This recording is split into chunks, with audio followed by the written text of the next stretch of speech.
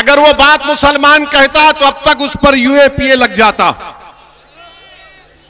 अगर वो बात मुसलमान कहता तो यूएपीए लग जाता, उसको जेल में डालने से पहले पुलिस स्टेशन में ले जाकर उसके घुटने के बाजू हज़रत पुलिस एक छोटी सी गोली मारती उसको। और बोलते, तूने गद्दारी की। वो मोहतरमा टीवी के इंटरव्यू में कहती हैं कि देश को आज़ादी 2014 में मिली। 2014 में मिली। नहीं नहीं, थालियाँ मारने के लिए नहीं सोचने बता रहा हूँ, देखो आप। मगर वो रानी है, आप महाराजा हैं, कोई कुछ नहीं करता। वो क्वीन है और आप किंग हैं, आप कुछ नहीं करते। तो फिर हम जब बोलते हैं तो हम पर मुकदमा क्यों? हम कभी कहो कि तुम्हारी बात को नहीं मानते। मगर तुम जो चाहे, मन घड़क बातें, अनाप शनाप बकते रहोगे। अगर हम इजहार ख्याल करेंगे हमारी राय तुमसे मुख्तलिफ़ होगी। तुमको पसंद नहीं आएगी तो जेल मेरा मुकद्दर या गोली मेरा मुकद्दर बना दिया जाता है। ये कौन सा इंसाफ है?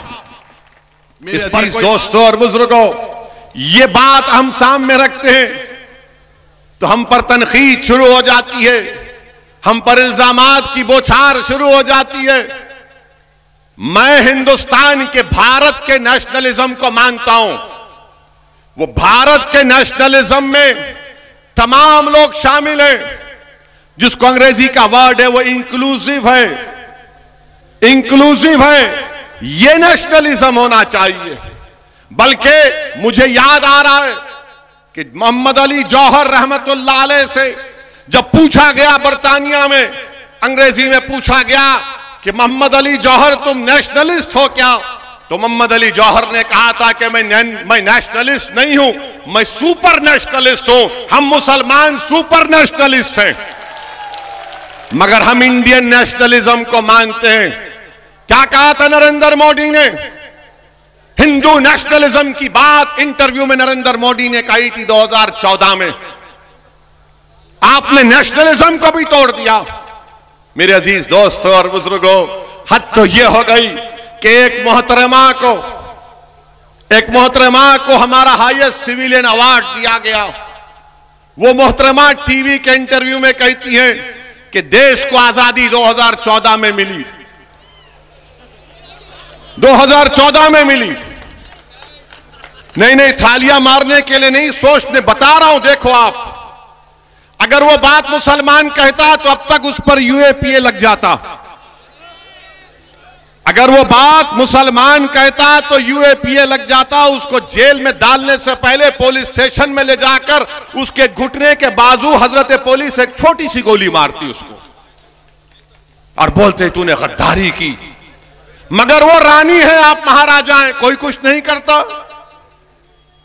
वो क्वीन है और आप किंग हैं, आप कुछ नहीं करते। क्यों नहीं करते?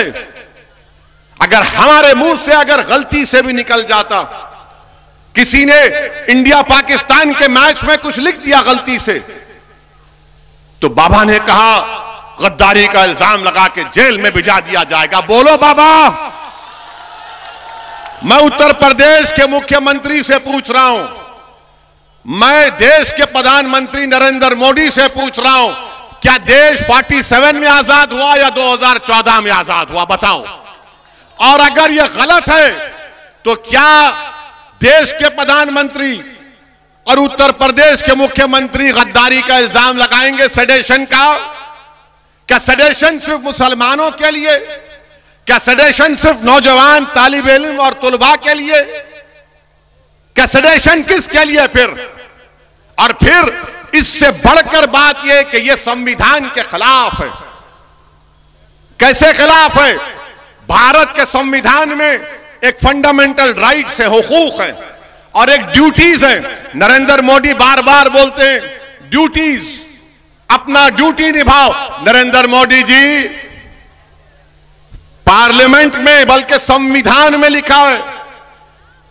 कि इस बात को हमको तालीम दी जा रही है संविधान के ज़रिए कि हर भारत के रहने वाले के लिए, नागरिक के लिए ज़रूरी है कि वो मुजाहिदीन आज़ादी की इज़्ज़त करें। डायरेक्टिव प्रिंसिपल्स में लिखा गया।